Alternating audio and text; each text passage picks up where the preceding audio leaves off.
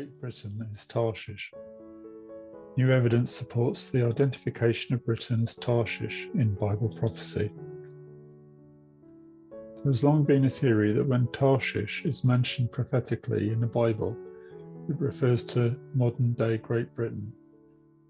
I first heard this theory in the 1990s and have a book published in 1941 entitled Is Great Britain Tarshish by Reverend W. Lamb which also promotes the theory. There have been other places identified as Tarshish, and I was not sure whether to believe this interpretation or not. But recent archaeological finds in Israel have convinced me that Tarshish is indeed Great Britain. Ezekiel chapter 38 tells us of ancient nations that unite under a leader called Gog. You can see one interpretation of who these nations are on the website page about Hal Lindsey.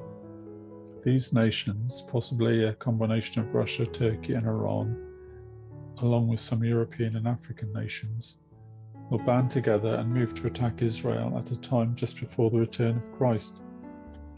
There is, however, another group of nations that stand aside from the invasion and protest about it.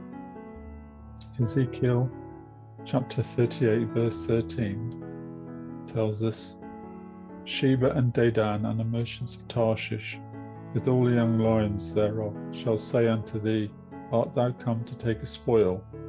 Hast thou gathered thy company to take a prey, to carry away silver and gold, to take away cattle and goods, to take a great spoil? Sheba could refer to the Sabaeans who lived in what are now the Arab Gulf states. Dedan is located in the area we know as Saudi Arabia. So, who is Tarshish? Tarshish is referred to in several places in the Bible. The ships of Tarshish are described as belonging to the proud and lofty in Isaiah chapter 2, and the inference is that they will be brought low. Isaiah 60 refers to a time when the nations shall bring their offerings to the Holy One of Israel. Surely the isles shall wait for me, and the ships of Tarshish first, to bring thy sons from afar their silver and their gold with them, unto the name of the Lord thy God, and to the Holy One of Israel, because he hath glorified thee. This is clearly a re- reference to the millennial age when Jesus rules on earth.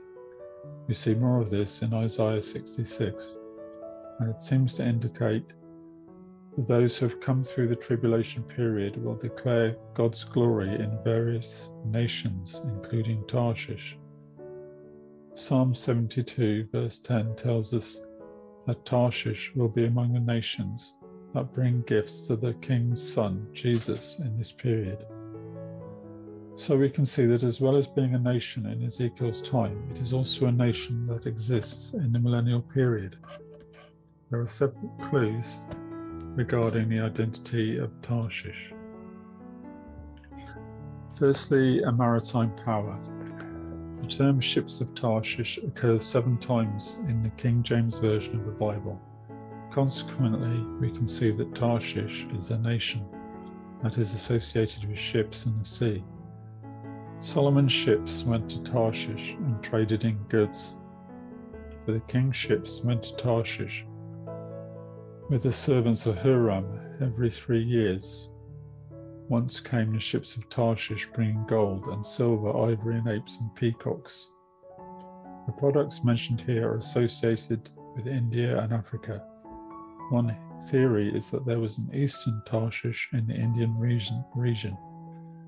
However, Herodotus mentions that Egyptian ships manned by Phoenicians took three years to sail from the Arabian Gulf and returned to Egypt around the coast of Africa and via the Straits of Gibraltar, which means Tarshish could be anywhere on this route.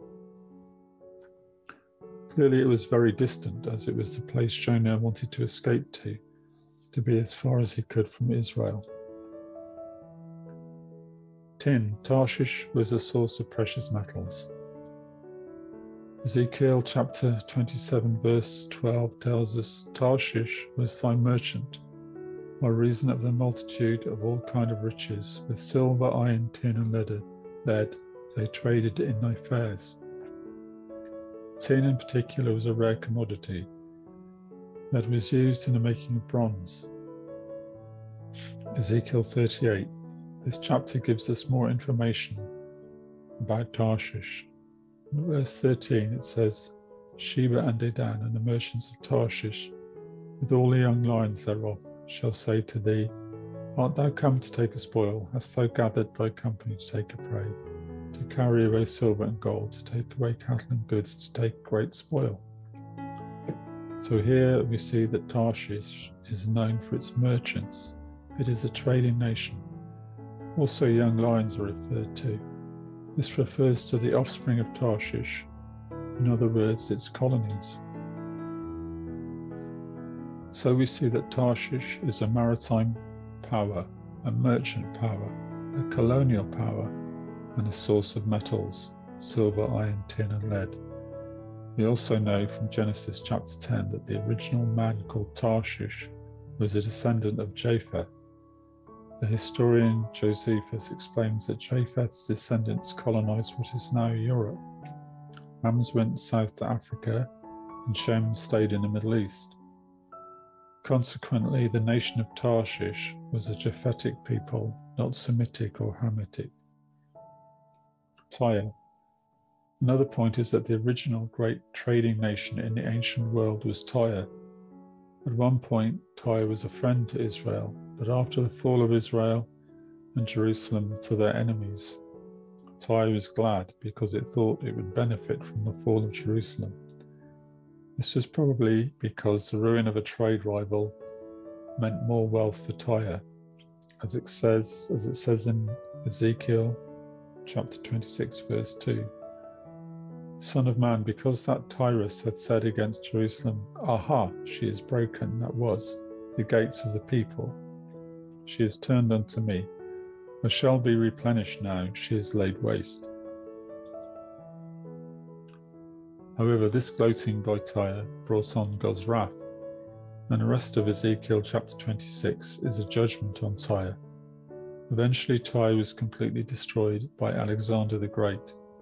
The point of interest to us here is that what happened to Tyre after its is what happened to Tyre after its destruction. There is another prophecy against Tyre in Isaiah chapter 23 and we read the following in verses 5, 6, and 7. As at the report concerning Egypt, so shall they be sorely pained at the reports of Tyre. Pass ye over to Tarshish. Howl, ye inhabitants of the isle. Is this your joyous city, whose antiquity is of ancient days? Her own feet shall carry her afar off to sojourn. So, prophetically speaking, the influence of Tyre was to take root again, sojourn in Tarshish. The arguments over the years have been about where this prophetic Tarshish is located. What nation has all the attributes of Tarshish? The characteristics of Tarshish are as follows. As we've seen, a source of tin, silver, iron, and lead, a Japhetic nation, a merchant nation, a maritime nation, a nation with colonies. Great Britain has been suggested as fitting the bill, but so have Spain and some other places. Many of the arguments have been about which nation or region could have supplied the metals. One thing that started me thinking that it could have been Britain that supplied the metals, specifically Devon and Cornwall, was when I saw a map of the old mines on the border of Devon and Cornwall. A legend to the map lists tin, silver, and lead among the metals. Iron is also found throughout Devon and Corn- Cornwall. What finally convinced me is that in 2019, there were headlines in the media showing that analysis of bronze an alloy of copper and tin, artifacts from 13th and 12th century BCE Israel proved that the tin came from Cornwall. These are the headlines from the Times of Israel, 22nd December of September 2019. Groundbreaking study Ancient tin ingots found in Israel were mined in England. Enigma of origins of Bronze Age Levant's tin supply solved through isotope and chemical composition analysis that shows 13th to 12th century BCE tin bars likely came from Cornwall. We're talking about tin from at least 3,000 years ago, the era, era of King David and Solomon. So, for me, there is enough evidence that Tarshish is in fact Great Britain, a place far enough away from Israel to be the place that Job was trying to get to when he was trying to escape from the presence of God.